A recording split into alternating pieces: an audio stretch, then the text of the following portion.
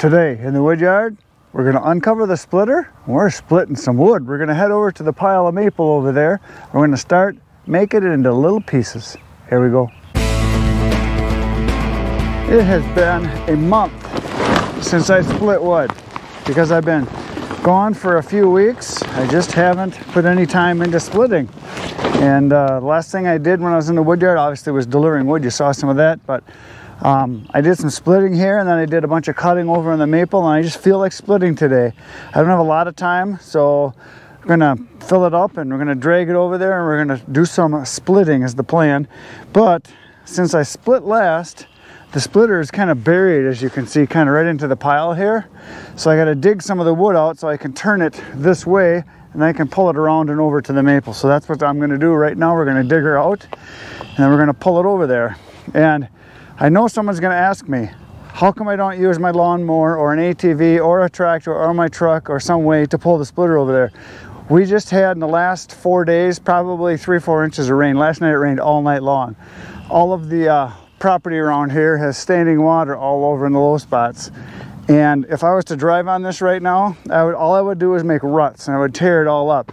So I'm gonna lift it up and I'm gonna pull it over there. That's what I'm gonna do and it'll work out just fine. Just watch. So we're gonna get her uncovered here, get some of this wood that's kind of pinning it in. Because when I got done, I uh, just left it because it was kind of sandwiched in here and covered it up. And then I went and uh, did some cutting. And then after that, I went and I did beaver trapping. So I've been gone for a while. But I'm ready to get back at it. That is for sure. I'm kind of anxious to get back at making wood again. And uh, my summer deliveries for campfire wood are going to happen right now. I've actually already started.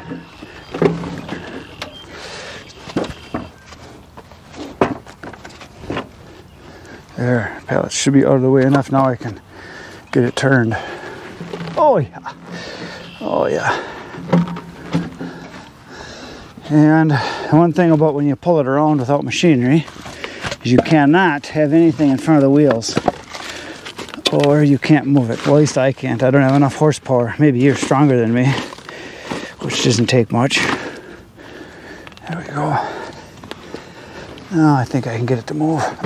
Oh, yeah, much better.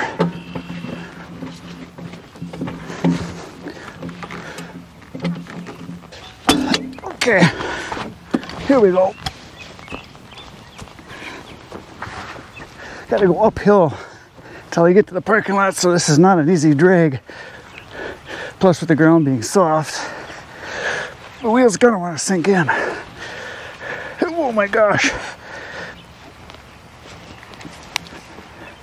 Come on, baby.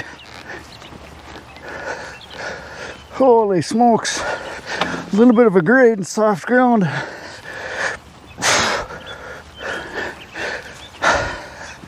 Not easy.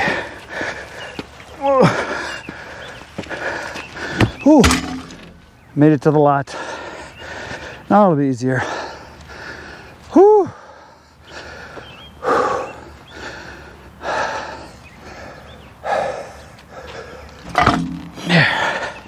So now I'm on blacktop. It rolls way easier.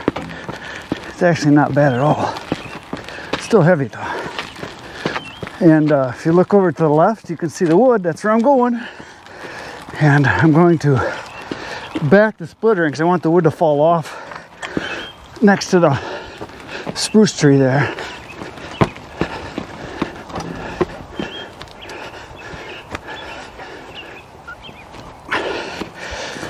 There we go. Whew, that's enough of that.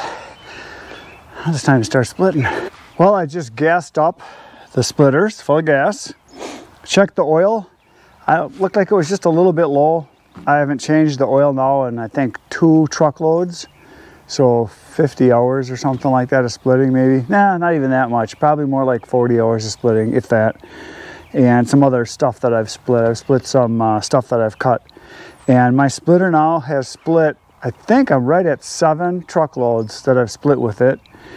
And it's working just fantastic. Uh, runs great, starts great, have had no problems at, at all with it. And I abuse it. I do not baby any of my equipment. All the equipment I have, I use, and I use it a lot. So it's stood up to everything I could throw at it. So for the average guy that's gonna buy a splitter, this is an awesome machine. Uh, for the price, fantastic. The speed, can move it around. Um, it just works great. There's some features obviously it doesn't have. It doesn't have a log lift. This is not hydraulically adjustable. It is adjustable up and down the wedge, but everything about it works just fantastic. So we're gonna start it up and uh, we're gonna do some splitting. It's been almost a month since it's been started, so we'll see what happens here.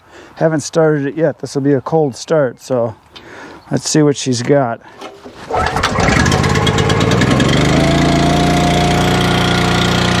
way I like it. Nothing but the best for my splitter.